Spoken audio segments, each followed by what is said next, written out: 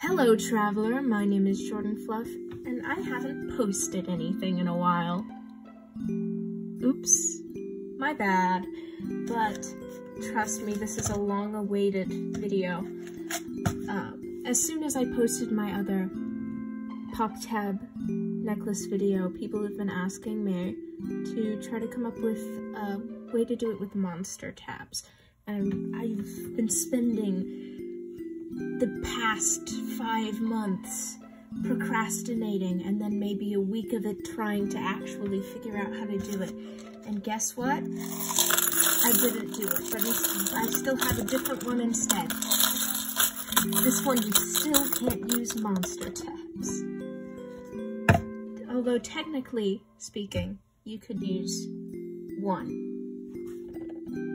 Which is a whole one more that you couldn't use in the other one, so I guess that's fine. Today I'm going to be showing you how to make a choker, a more choker one. Um, this is also good for bracelets too, just like the other one. I, I, this is unscripted. I had no clue I was doing, um, jumping into this, but for this, you need your basic two-hole pop tab, of course, classic and you're gonna need some kind of elastic. I like using this clear bead and stretch Go by Go Create. It's very nice. It's not very good for this video because it'll be hard to see, but you know what? You're just gonna have to deal with that. I, cause I'm, I can't go out and get more. Not in these hard times, no, sir.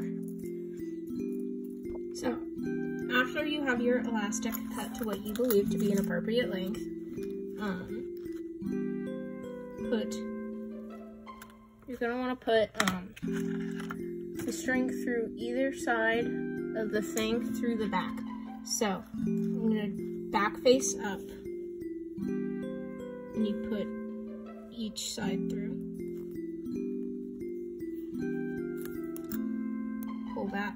So you should top layer should be, you should see two. The back layer should be one across. Now,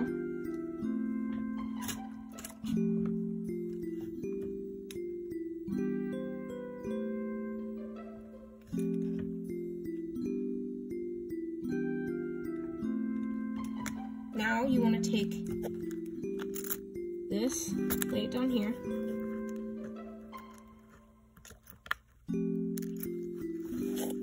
put it through this double. So when I overlap it like this, what I mean by double is I mean where the holes overlap. So put it through the double.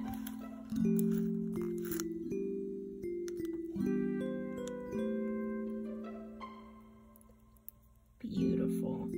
Do that on both sides. Everything is symmetrical except for the last step. It's very important. Everything is pretty much symmetrical and everything follows the pattern as you go down of thin, thick, thin, thick on each side. Or thick, thin, thick, thin. Now, you just take this grab yourself another. And you come through the double, the new double, instead of the old double.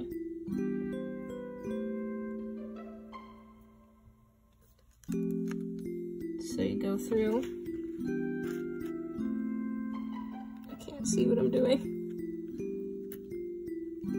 You go through the new double. you basically just gonna wanna repeat this pattern until you get the desired length. I'll be right back. I'll show you how to add on to this and I'll show you how to uh, add a clasp thing. Okay, so once you have your thing about a desired length, uh, you're gonna wanna go to the last thing, just like you're about to add a pop tab, and you're gonna tie it off twice. It's very important you do it two times, especially if you have uh, the same elastic that I'm using because it's particularly slippy. And you don't want it to be slipping. Then you can go ahead and cut that off. Beautiful. Okay, so now is the time where you could use a monster tab because really you only need one of the holes. But you're gonna take a tab. What you're gonna do is on the thin end, you're gonna cut. You can do this with a wire cutter, particularly sharp pair of scissors, like nail cutters, X-Acto knives maybe. I don't know. I've never tried using an X-Acto knife for this. But really, all you have to do, um, all I did is pop it on one end like that.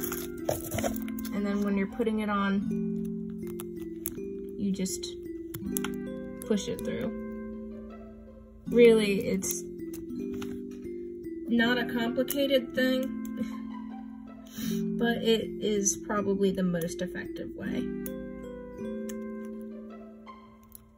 I just prefer it this way than getting an actual clip.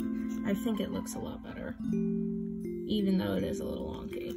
And uh, you can see here I actually messed up and I put two of the same, which is technically fine, but you can see it creates like a slant downward. So it would be a little wonky, but that's fine. There's not really too big of an issue with that. Real quick before I let you go, I need to explain to you, if you cut your elastic too short, uh, you tie it off like you're about to end the thing completely, and then you just start like you're starting a completely new one. Just loop it through and you can start like you're starting a new one except it's connected to the rest of the thing. You don't have to try to tie two pieces of elastic together to connect them to the old elastic or any of that. You just tie it off like you were doing it normally. Um, if you find that it's not staying, you can tie knots like around the thing. You can't see it but tie knots like you're ending it and then just continue on without changing out elastics or anything just keeping the same one going. It definitely helps it be a little bit more sturdy. Um, if you find that it hurts like this choker I found it was very like itchy. Um, so I put a strip of felt on the back you can attach that however you prefer, but that really helps if it's really itchy. But yeah, that's really it. There's nothing else I would...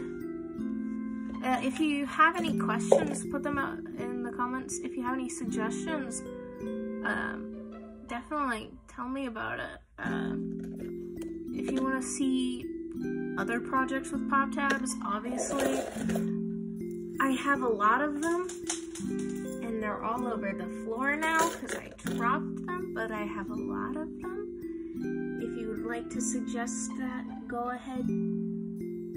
Um, sorry for not uploading for a long time. Oopsie. Oops. Forgive me.